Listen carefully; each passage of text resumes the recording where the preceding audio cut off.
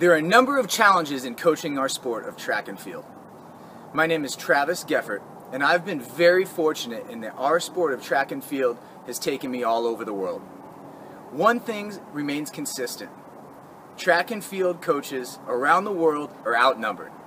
Oftentimes you have one to three coaches for maybe 25 to 50 athletes at all levels. High school, junior high, age group, club level track. How do we go about combating that problem? Well, I think we all know as track and field coaches, we have to be organized and efficient before we even step foot on the track.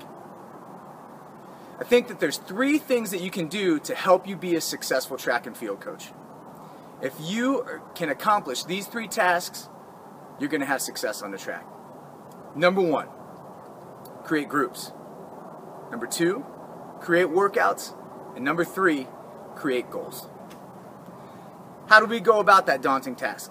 All right, let's start with number one. You can create groups as general or as specific as you would like. Maybe you have a group of jumpers and sprinters and short hurdlers all in group one. In group two, you would have your long sprinters and your long hurdlers. And then maybe in group three, you have your 800 meter runners and up. Or, should we get more specific? Maybe you're a sprints coach out there that you have a large group of sprinters and you have a group of sprinters and jumpers that could all run between 22 and 23 seconds in the 200. Maybe they're in group one the athletes between 23 and 24 seconds are in group two. In group three, the athletes that are between 25 and 26, maybe your younger athletes. You can make these groups as general or as specific as you like at any level of track and field. Number two, create workouts.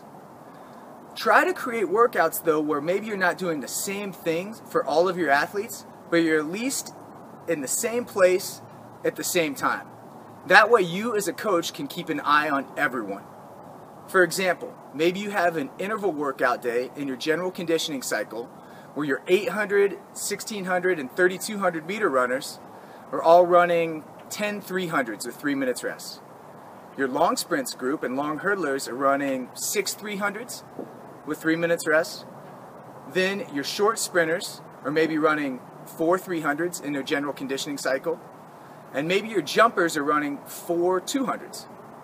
That way you can keep an eye on everybody at the same time, keep the interval going, and have a good finger on the pulse of everything that everyone is doing. Then on specific technical days, maybe your athletes are, your sprinters are doing block starts, your hurdlers are doing hurdle starts, and your jumpers are doing approach work. They're training the same energy systems, but getting specific event work in for what they need to accomplish. Number three, the most challenging part, creating goals. Creating goals specific to each event group that you're coaching. One thing you don't want to do is, for example, have a freshman girl that, let's say, is trying to run 65 seconds for the first time in a 400 meters, doing the exact same workouts that your superstar senior is trying to do to break the school record of 56.9 in the 400. Those two athletes shouldn't be doing the exact same workouts. You need to challenge that senior and still encourage that freshman to meet the goals and have success along the way. One thing that we've done at TrackWired is try to create programs that can accomplish all of these tasks we have workouts that are synced up with one another.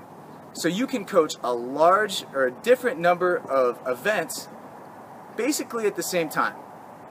So you have your athletes in your distance group, your long sprints group, your short sprints group, your jumpers group, even your throwers, all doing similar things at the same time, but yet doing workouts that are specific to what they need to accomplish in their events.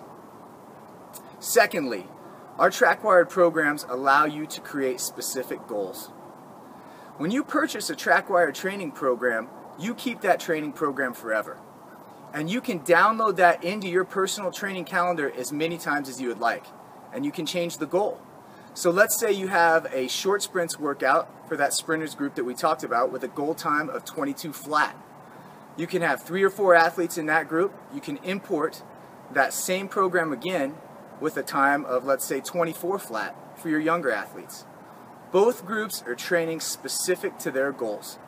You're challenging your more advanced runners and yet continually encouraging your athletes that are developing in our sport.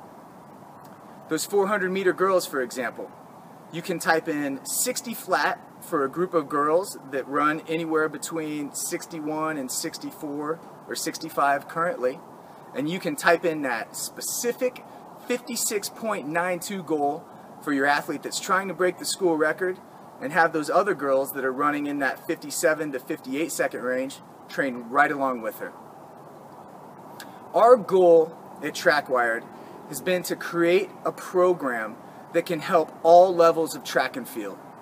We want to encourage coaches, we want to encourage athletes to get out there and do training that's going to help them continually develop in our sport. As these younger athletes have success along the way, they're going to continue with it. They're going to stick with it. And they're going to help the sport of track and field evolve over time. We all know that coaching track and field is always going to be a challenge. We really hope that TrackWired can make it a little bit easier for all of us coaches, athletes, and parents out there. So we encourage you to go check us out, tell us what you think, and we hope that we can help you develop and get better in all your track and field goals.